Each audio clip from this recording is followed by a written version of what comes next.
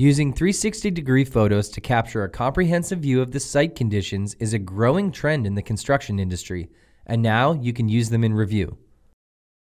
360 degree photos can now be added to capture galleries, making it possible to share a single image that encompasses an entire space as an attachment to a markup. Revu supports 360 degree photos from, among others, the Ricoh Theta S, Samsung Gear 360, and LG 360 Cam. A full list of supported hardware is available on our website. Capturing current project progress, for example, is incredibly simple by adding 360 degree photos. Just right click on a markup and select Capture from File.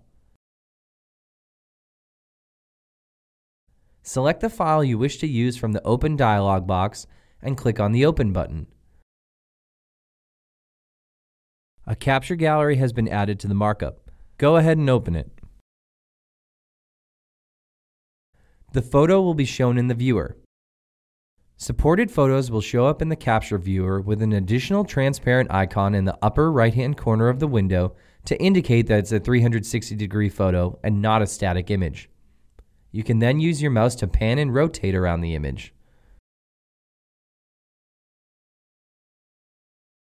You can also use your mouse wheel to zoom in and out for greater detail, allowing you to spot more difficult to see site conditions. Go ahead and start adding 360 degree photos to your markups.